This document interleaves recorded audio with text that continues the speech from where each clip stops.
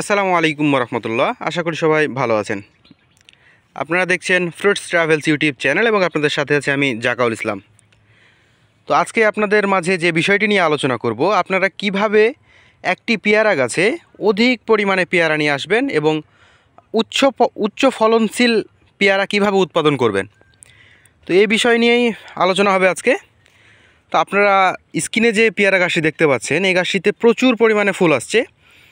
আপনারা যদি ফুলগুলো একটু দেখেন, এখানে আছে চারটি, পাঁচটি, এর উপরে দেখেন, এখানে আছে পাঁচটি এবং এদিকে আছে চারটি, নয়টি।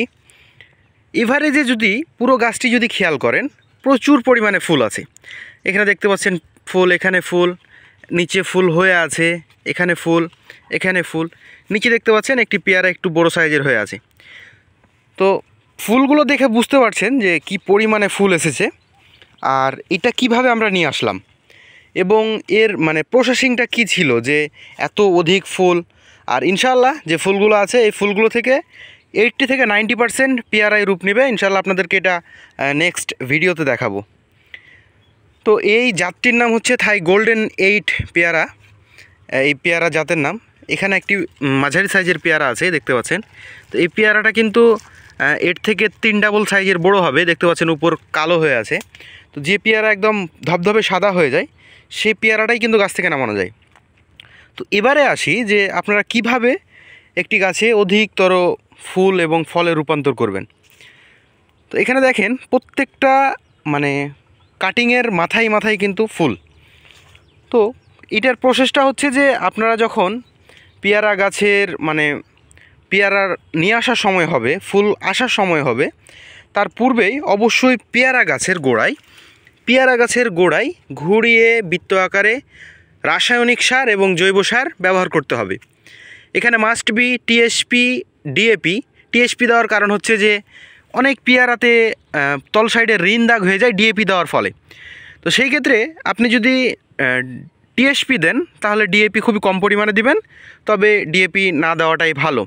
তার সাথে পটাশ ইউজ করবেন এবং কিছু পরিমাণে ইউরিয়া ইউজ করবেন। তার সাথে জিপসান সার থাকবে, ম্যাগমা থাকবে এবং জিঙ্ক, বোরন এই ধরনের সারগুলো থাকবে। অবশ্যই আপনার নিকটস্থ ডিলারের কাছ থেকে এ বিষয়ে ভালোভাবে জেনে নেবেন। তারপরে আসি, যখন গাছের গোড়াতে সার ইউজ করা হয়ে গেল ঠিক তখনই আপনাকে গাছে পুনিং করতে হবে। এই যে দেখেন আমরা এখানে পুনিং করেছি, এইটা দিয়ে ফুল এখনও বের হয়নি, অবশ্যই ফুল নিয়ে বের হবে। এই যে এখানে এটা যদি দেখেন, এই দেখেন ছোট্ট সূচের মতো হয়ে দেখতে পাচ্ছেন। এখানে কিন্তু ছোট্ট সূচের মতো দেখেন দুইটি ফুল নিয়ে আছে। তো এই দুইটি কিন্তু, ফুল দুইটি কিন্তু পেয়ারাতে রূপ নিবে।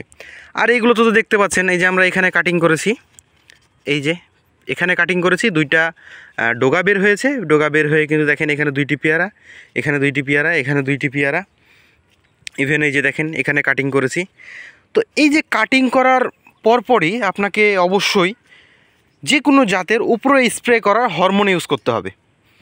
মাস্ট বি আপনি এখানে ক্লোজার ইউজ করতে পারেন ইউজ করতে পারেন লিটেশন ইউজ করতে পারেন।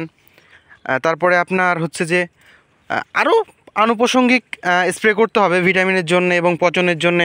নাভারা বা অ্যামিস্টার টপ ইউজ করতে পারেন, কীটনাশকের জন্যে সবিক্রম ইউজ করতে পারেন নাইট্রোজেন ইউজ করতে পারেন। এইরকম অনেক, বাজারে কিন্তু অনেক কীটনাশক পাওয়া যায়, তো সেগুলো অবশ্যই ইউজ করতে হবে।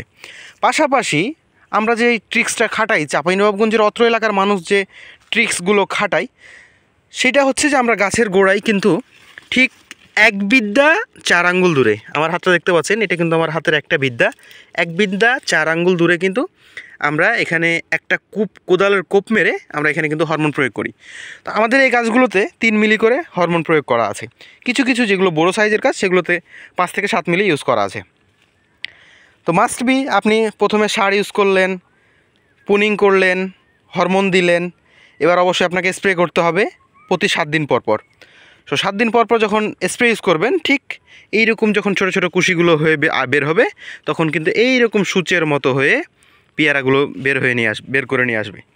তো এই প্রসেসগুলোতে কিন্তু এই যে ফুল আছে এখন এখন আবার স্প্রে করতে হবে। স্প্রে করার মাধ্যমে কিন্তু এই ফুলগুলো ফলে রূপান্তর হবে। তো এইভাবেই কিন্তু পেয়ারাগুলো আসবে। তো এই ছিল আজকের ভিডিও তো আশা করি বুঝতে পেরেছেন যে কীভাবে কি করতে হবে। তো আশা করি আপনারা যারা পেয়ারা চাষ করতে আগ্রহী বা চাষ করতে চান তারা করতে পারেন। যদিও বাজারের প্রেক্ষাপট এখন অনেকটাই খারাপ। তো ওটা আনুপ্রসঙ্গিক কথাবার্তা হয়ে যাচ্ছে।